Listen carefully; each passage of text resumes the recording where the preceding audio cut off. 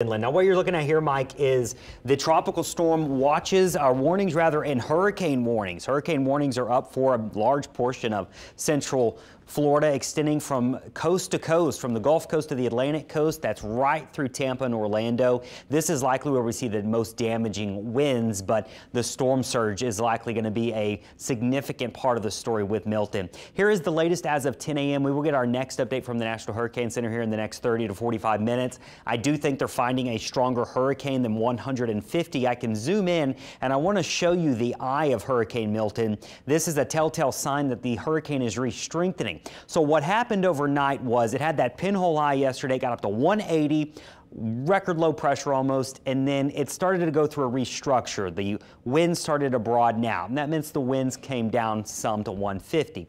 Now it's coming back together, contracting and intensifying, and that's why the eye is popping back out.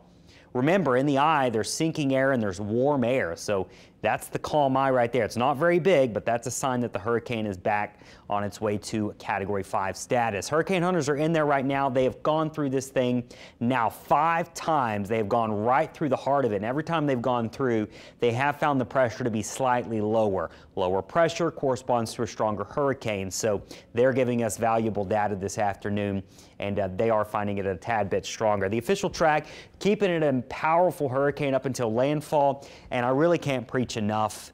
Um, if you're watching this maybe from over in Florida perhaps, do not focus on these categories so much. The bigger story here will be the storm surge, which is coming regardless of if it's a four, a three, a two, a one, I don't care. The surge is coming. Landfall will be tomorrow night into the early morning hours. There's the landfall location somewhere around Tampa Bay. Now, the important part for Tampa Bay on if they get the high surge will depend on where it comes on shore. If it's just south of Tampa, great news for Tampa, bad news for Sarasota and closer to Fort Myers. If it comes in a little further north, you get worse surge. This corridor of purple here is where we could see 110 plus mile an hour winds. These are your most damaging winds, but the red are still damaging winds too.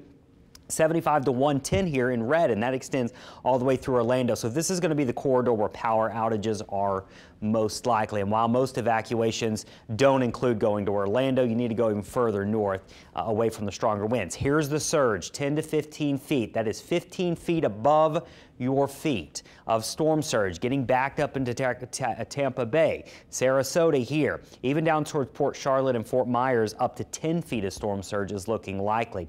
And once again, the worst surge will be right on the southern side of that eye wall wherever it comes on shore. So for Tampa's sake, they wanted it to come in further south, but it could easily come in further north, and that would be worst case scenario. I was checking the data. There has not been a landfalling major storm right in Tampa since 1921.